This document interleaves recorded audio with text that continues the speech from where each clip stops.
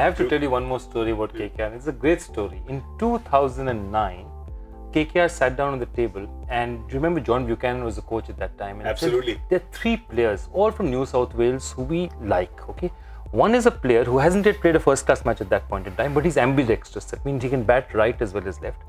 The other is a good leggy who can bat a bit, and the third is an all-rounder, fast bowling all-rounder who we chose called Moises Henriques, and we said इसे KKR में लाना Yeah. The guy who was ambidextrous, who went on to play a few matches for Australia, his name was David Warner. Okay. And the leg spinner who We could, know him. and the leg spinner who could bat a bit was Steve Smith. Oh. And I remember we had all those, and we looked at those, and who did we choose? We chose Moses Henriques, who's a good player, but has nowhere compared to the career he has. So, you know, it was literally we were sitting on those riches, and I think immediately after that, within 15 days, remember Buchanan was the Australian coach. Yeah. So Warner was saying, you know, I'd love to be signed by you.